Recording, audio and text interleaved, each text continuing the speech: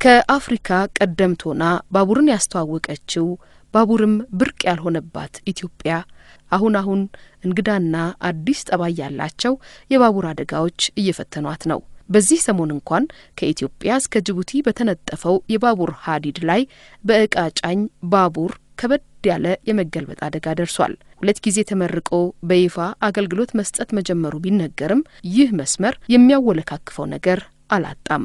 የኢትዮጵያ ምድር ባቡር ኮርፖሬሽን ባለሙያዎች እንደሚሉት ችግሩ የሚጀምረው ከግንባታው ዲዛይንና ጥራት ነው። የግንባታ ጥራቱ አጠያያቂ የሆነውን ይህንን የባቡር መተላለፊያ መንገድ ዲዛይን ያደረገው የቻይና ኩባንያ ነው።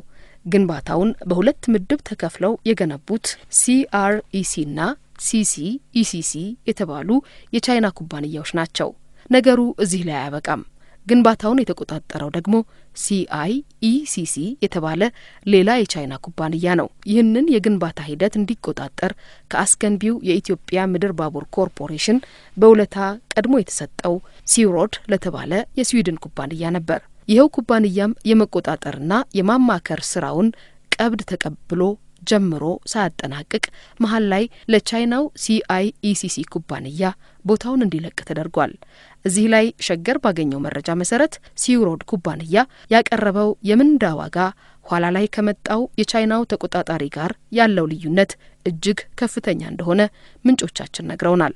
የባቡር ሀዲዱ ነገር እዚያው በዛው ነው የሚሉት ምንጮቻችን ገሀድ ያልወጣ ዓለም አቀፍ ጨረታም ሳይካሄድ የቁጥጥርና ክትትል ስራውን በባለቤትነት እንዲያስተዳድር ለቻይና ኩባንያ መሰጠቱ ጉዳዩን ውስብስብ ያደርገዋል። ለመሆኑ ከአንድ ሀገር ለመጡ ኩባንያዎች የግንባታውንም የቁጥጥሩንም የዲዛይኑንም ስራ ጨማምሮ መስጠት ትክክለኛ አሰራር ነው ወይ ብለን ጥያቄ ያቀረብንላቸው በእንግሊዝ ሀገር የባቡር ኦፕሬሽን ዘርፍ ላይ የተሰማራ ኩባንያ ባለቤት የሆኑትንና የኢትዮጵያ መንግስት በሙያቸው በዚሁ የባቡር ግንባታ ስራ ላይ ምክር እንዲሰጡት ከመደባቸው የምህንድስና ባለሙያ ጋር ተነጋግረን ነበር። ባለሙያው ዶክተር ማናዬ እውነቱ ናቸው። ሀሳባቸውን ስሙት። የተለያዩ አይነት modality ዎች አሉ። አንዱ ዲዛይኑን ሌላ ይሰራል፣ ግንባታውን ደግሞ ሌላ ተቋራጭ ይሰራል። ሌላው ደግሞ ይሄ ዲዛይኑንም construction ኑንም ይሰራዋል።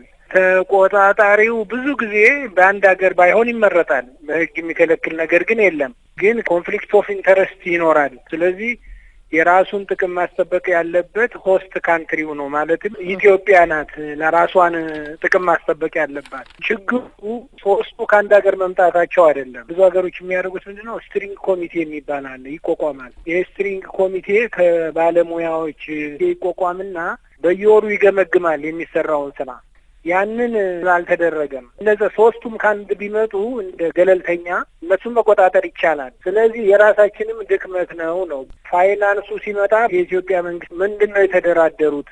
ብድር ነው የምንከፍለው ነው በነጻ አይደለም የተሰጠ ነው፣ grant አይደለም። ያንን መብት ደግሞ የሚያሳጣንም ምክንያትም ያለ አይመስለኝም። አሁንም የእኛ እድሉ አለን። አሁንም አላስረከበም ሙሉ በሙሉ አላስረከበም። የዚህ የተበላሹ ማስተካከያ ወይም defect liability period የሚባለው አንድ አመት ነው። እሱን ወደ መጨረሱ ነው ያለ። አሁን እኔ የሚያሰጋኝ እሱ ነው። እነዚህን ብልሽቶች ሁሉ ሳያስተካክል ለእኛ አስረክቦ ከሄደ በጣም አደገኛ ነው የሚሆን። አሁንም የሚመስለኝ ምንድን ነው በኢትዮጵያ ምድር ባቡር ኮርፖሬሽን በኩል የሚነሳው ብልሽት ቢመጣ አንድ ነገር ቢመጣ ሙሉ ኃላፊነቱ የእሱ ስለሆነ ያስተካክላል። ስለዚህ በዛ የሚያመጣው ጉዳት የለም የሚል ነው። አሁን እንግዲህ አደጋውን እያየነው ነው።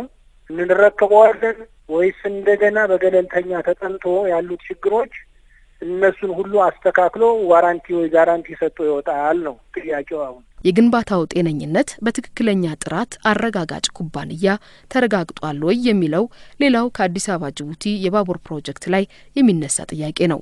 የግንባታው ነገር በገለልተኛ ኩባንያ ከተረጋገጠስ እንዲህ እንዳሁኑ በጎርፍና ከባድ ዝናብ እንዲያም ሲል በኃይለኛ ነፋስ ሳይቀር ለምን ይረታል? ቀድሞውኑ ከግምት ሊገቡ የሚገባቸው ጉዳዮች አልተካተቱም። ኢትዮጵያውያን ባለሙያዎች ይሰጧቸው የነበሩ በጥናት የተደገፉ ሀሳቦች ተንቀው ቀርተዋል። ይህ ደግሞ ከአደጋ እንዳንርቅ በቂ ምክንያት ነው የሚሉም አሉ። በተለያዩ ጊዜ እኔ ራሴ እያንዳንዱን structure በዛ አካባቢ በብዛት ተጉዤበታለሁ። በክረምት አልፎ አልፎ ጉዳት ይደርስበት ነበረ ባለፉ ክረምቶች እና ያንን እያየን እርማት እንዲሰጥ እናደርግ ነበረ። እንደዚህ አይነት ፕሮጀክቶች ሲሰሩ አሁን ዘመናዊ ቴክኖሎጂዎች አሉ። የኮምፒውተር ሞዴል ይሰራላቸዋል። የ flood event ኡን ማየት ይቻላል። የዛ አይነት ስራ አልተሰራለትም። እንዲሁ ዝም ብሎ መንገድ እንደሚሰራ ነው እኔ እስከማውቀው ድረስ የተሰራለት። ጥልቅ የ hydrology ና የ drainage ስራ ተሰርቶለታል ብዬ አላምንም። እኔ እነዛን ክፍተቶች እኛ ማድረግ የምንችለው ሀሳብ መስጠት ነው እንጂ የማስፈጸም አውቶሪቲው የለንም። ሙያተኞች ሳያጣ ሙያተኞች ግን የማይመሩት ተቋም እንደሆነ በአደባባይ ሳይቀር የሚተቸው የምድር ባቡር ኮርፖሬሽን ከአዲስ አበባ እስከ ጅቡቲ የተነጠፈውን የባቡር መንገድ ከስምሪት እስከ ማስተዳደር ያለውን ስራ አስተዳድርልኝ ብሎ በኮንትራት ለስድስት ዓመት የሰጠው ለቻይና ኩባንያ ነው። ኩባንያው በግንባታ ስራ እንጂ በአስተዳዳሪነት ከዚህ ቀደም ልምድ የለውም የሚል ትችት በተደጋጋሚ በሙያተኞች እንደሚቀርብበትም ነው የሰማ ነው። ለማንኛውም ለዚሁ ኩባንያ በአመት 60 ሚሊዮን ዶላር ኢትዮጵያ ትከፍላለች። ኢትዮጵያ አሁን የምትመራበት የባቡር አስተዳደር አዋጅ 1048 2009 የባቡር ትራንስፖርትን እንዲያስተዳድር በሕግ ስልጣን የተሰጠው አካል በባቡር ስራዎች የብቃት ማረጋገጫ ፈቃድ ያለው እንደሆነ ብቻ ይደነግጋል።